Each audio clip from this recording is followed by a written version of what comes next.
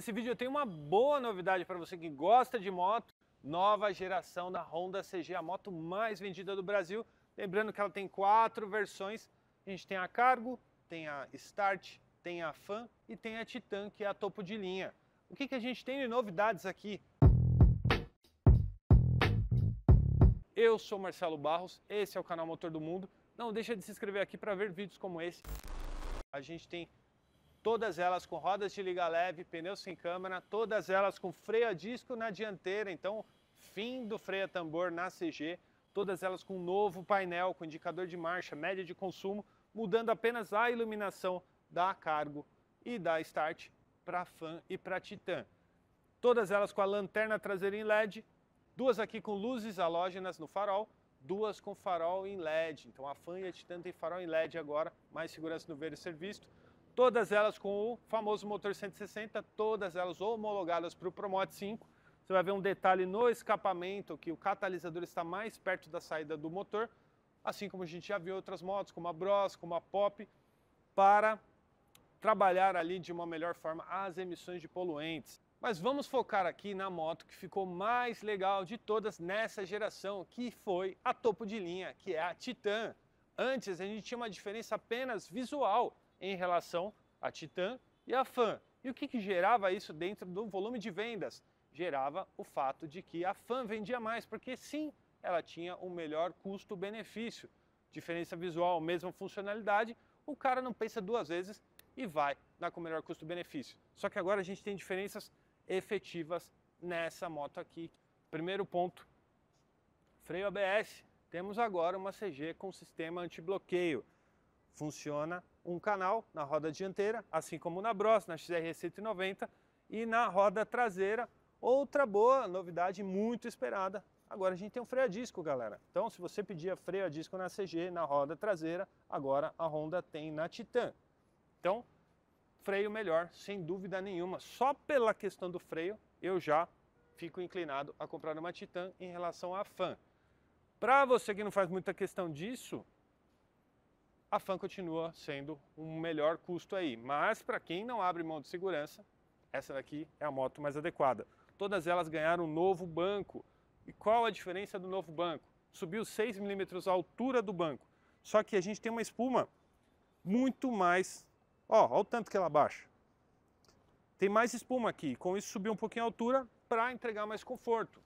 A gente precisa andar nessa moto primeiro para poder falar com clareza. Mas sentando aqui, vendo a posição de pilotagem, a gente tem aquele tradicional equilíbrio aqui na CG. Como é uma moto que está na décima geração, a gente está falando de uma moto que existe desde 1976, vem passando por evoluções e pensa a quantidade de motos e clientes que eles analisaram para ir desenvolvendo. Essa moto aqui é a cara do brasileiro, porque ela é baseada em muitos clientes de CG em tantos anos.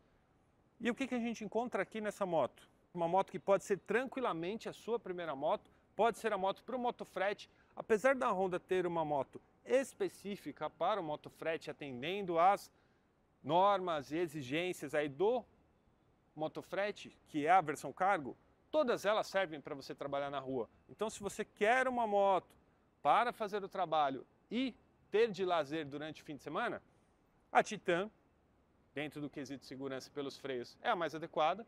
Se você não faz tanta questão do disco e do ABS, a FAN também vai funcionar bem nesse sentido de coloca o bag nas costas, vai fazer as entregas, fim de semana, fica desfilando.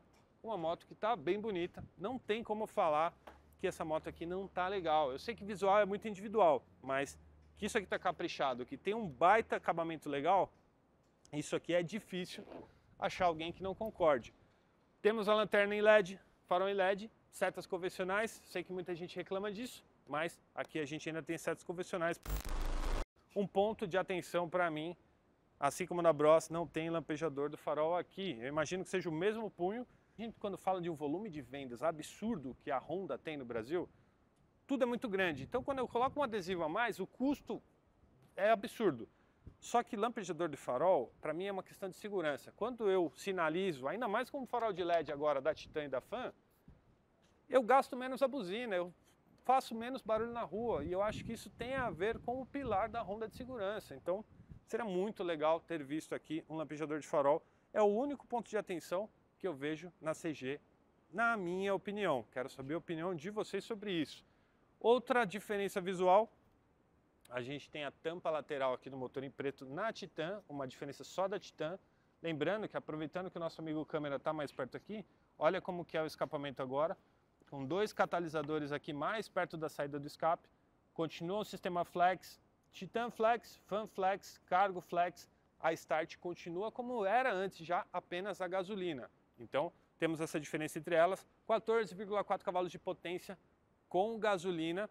Então, é uma potência aí suficiente para a proposta dessa moto. Lembrando que a gente tem a Twister 300 mais para cima e aí, dependendo de quanto você quer acelerar, meu, o céu é o limite. CB1000R está aí para agradar quem não vive sem uma adrenalina no dia a dia. Mas focando aqui nas coisas que a gente está vendo. A gente tem ABS nessa moto e nas outras três versões continua com CBS, que é o freio combinado. Apertou o pedal do freio, joga um pouquinho de dosagem lá na dianteira para tentar equilibrar as frenagens para quem não é muito habituado aí a uma pilotagem correta. O ABS, antibloqueio, alicatou aqui o freio, vai garantir estabilidade na frenagem para você ficar na tranquilidade. Câmbio de cinco marchas, uma curiosidade, não mudou o escalonamento da quinta marcha. E por que não mudou o escalonamento da quinta marcha? Algo que aconteceu com a Bros e não aconteceu com a XR190. Porque a relação de transmissão final, ela é mais longa do que da Bros. A Bros tem uma relação mais curta. Relação mais curta de pinhão e coroa faz com que ela responda melhor em baixa. Quando eu deixo uma relação mais longa, faz com que ela tenha mais final. E se ela já está pensada para ter mais final, ela não vai estrangular em quinta marcha, como acontecia com a Bros até 2024. Na 2025, que a gente já avaliou, tem vídeo aqui no canal, a solução foi a melhor possível. Então tem boas respostas embaixo com a relação mais curta e tem o câmbio mais longo na quinta marcha, sem a necessidade de uma sexta marcha. Aqui já está tudo no esquema, tudo azeitado, tudo funcionando bem. Falando agora de suspensões, suspensão dianteira, a gente tinha uma suspensão assimétrica, que era hidráulico de um lado, mola do outro, deixava mais leve e tudo mais. Mas aqui a gente voltou a ter uma suspensão convencional, só que ela é uma suspensão convencional, com hidráulico e mola dos dois lados, só que 33 milímetros, mais robusta, mais robusta, mais estabilidade, mais firmeza.